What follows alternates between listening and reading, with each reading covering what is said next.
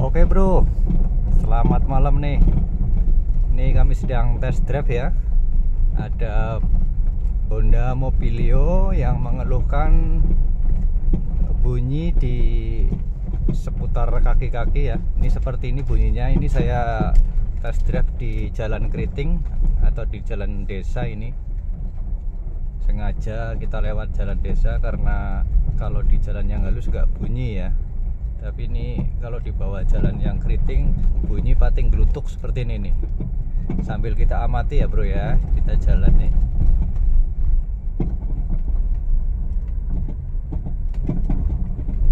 Oh bisa kedengaran gak ya bro ya bunyinya itu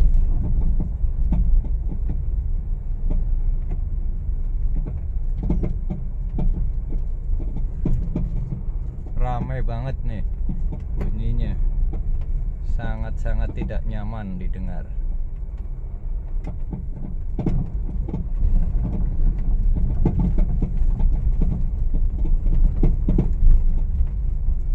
Terdengar sampai ke kabin tentunya nih. Tuh.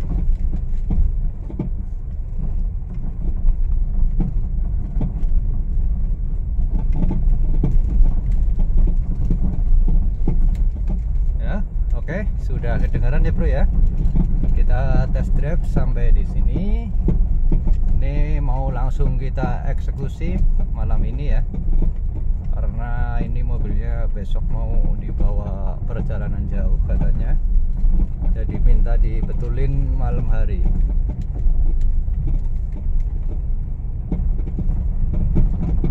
Oke, nanti kita lanjut ke perbaikannya ya dari mana asal bunyi gelutuk-gelutuk ini? Nanti kasih tahu ke teman-teman semuanya. Oke bro. Ini sudah saya bongkar ya untuk roda depannya. Jadi ini tadi yang bunyi kasar ya bunyi gelutuk-gelutuk di bagian depan.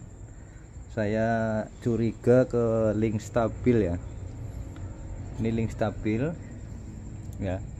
Ini link stabil biasanya sudah waktunya ganti ataupun bautnya kendor bisa juga. Ya ini bisa dicek. Nih. Nih.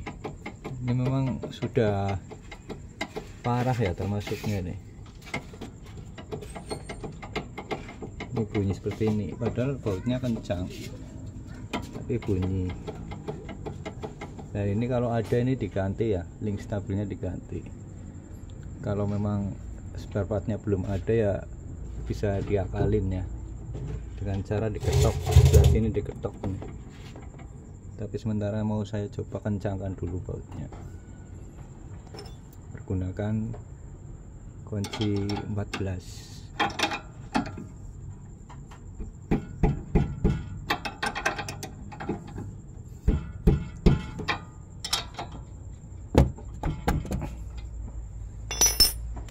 nanti saya coba jalan lagi nih setelah seperti ini. Kita coba ini kanan kiri nanti kita cek semuanya.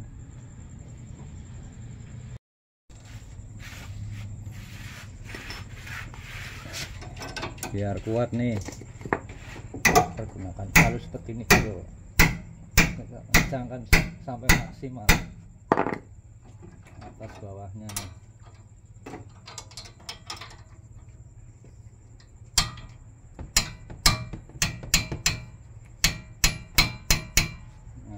udah kencang semuanya atas bawah. Bisa kita coba nih. Nah, ini walaupun kocak tapi nggak bunyi ya. Nah, ini memang seharusnya udah ganti tapi ini kita akalin dulu. Nah, oke mudah-mudahan nanti bisa sembuh. Bisa hilang bunyi kelatak-lataknya bro. Oke bro setelah tadi kita cek stabiling ya. Ataupun link stabil. Memang untuk spare partnya udah harus ganti ya tapi saya coba kencangkan bautnya. Dan mudah-mudahan untuk keluhan bunyi glutuk-glutuk ya di kaki-kaki mobilio ini sudah hilang ya. Memang tadi agak sedikit kendor dan memang sudah kocak oke bro kita test drive kembali setelah pengencangan untuk stabiling. Nih ini kita sengaja cari jalan keriting nih. Udah nyaman ya bro ya? Nggak ada bunyi seperti tadi.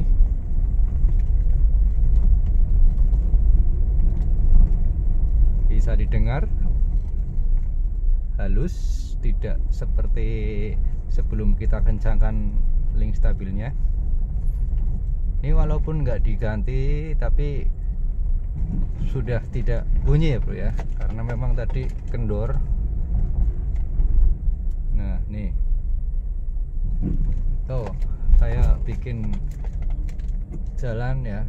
Seperti ini banyak goncangan tapi udah nggak bunyi. Apalagi kalau di jalan yang halus. Ini saya sengaja cari jalan keriting nih Oke kita mau coba di jalan yang beraspal nih.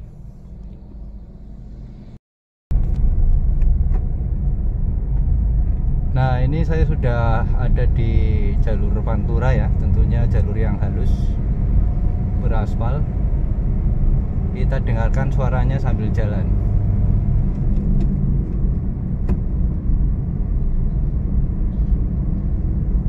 sudah tidak ada suara geblatak ya? Nah ini halus sekali nih. Apalagi di jalan yang halus seperti ini ya. Tadi aja waktu masih di jalan yang keriting sudah nggak ada suara gemlatak ya. Ini di sambungan jembatan nih. Tuh aman ya? Aman udah nggak ada suara gemlatak kita cari jalan yang keriting lagi nih. Sambil lalu saya sambil pulang ke rumah nih ya.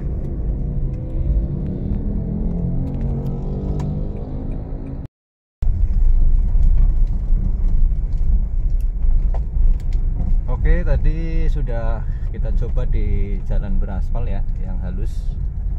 Sudah tidak ada bunyi dan ini saya coba di jalan desa ya yang tidak beraspal. Tuh bisa kelihatan jalannya. Nah, jadi pastinya jalannya banyak lubang.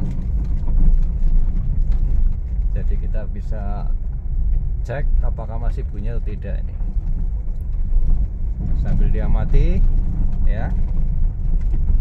Bunyi kelatak-kelataknya sudah hilang apa belum? Sambil jalan ini.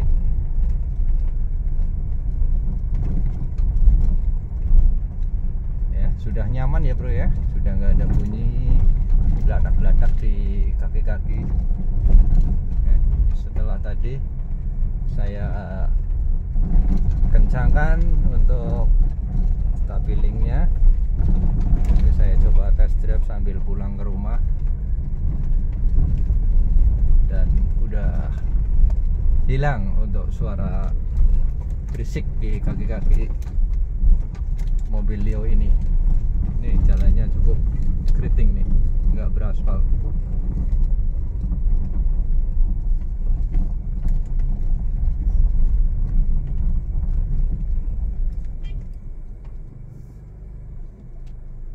Oke bro, mudah-mudahan untuk video yang singkat ini bermanfaat ya. Jadi kalau teman-teman mengalami kaki-kaki bunyi ya kasar seperti tadi bisa dicoba.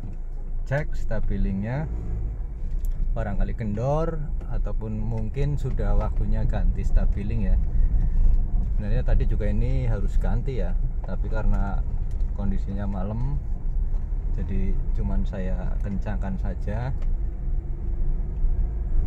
Alhamdulillah masih bisa digunakan ya ataupun sudah normal kembali untuk bunyi kelatak-kelataknya tadi udah hilang. Tapi sebaiknya diganti nih. Ini nggak mungkin bisa tahan lama ini. Ya kalau sudah terjadi kocak seperti tadi kemungkinan dipakai juga nggak lama lagi akan bunyi.